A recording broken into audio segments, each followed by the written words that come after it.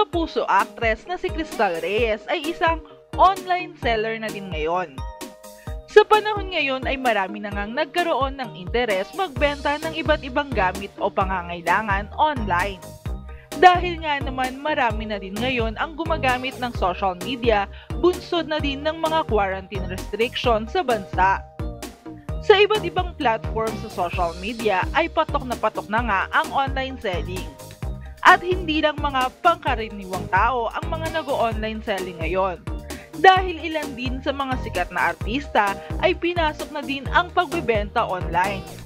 Hindi lang sila artista, madiskarteng online sellers din sila.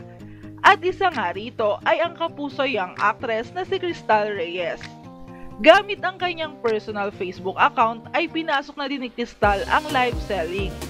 Ang mga paninda niya ay ukay-ukay na patok din sa mga mamimili ngayon. Marami sa kanyang viewers ay natuwa at kinagiliwan siya dahil wala siyang kaarte-arte. Kahit isa pa siya sa mga sikat na artista, sa Kapuso Network ay pinili niyang magtinda online para mas makatulong pa sa kanyang pamilya.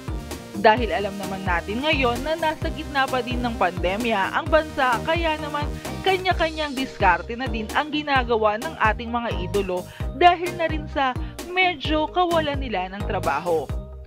May ilan namang netizens ang ikinumpara si Crystal sa mga pangkaraniwang online seller lang.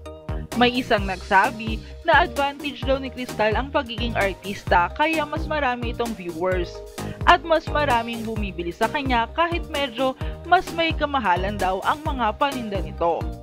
Well, nasa diskarte lang yan mga sis. Lahat naman ngayon ay nag-iisip ng kung paano kikita sa panahon ngayon, di ba?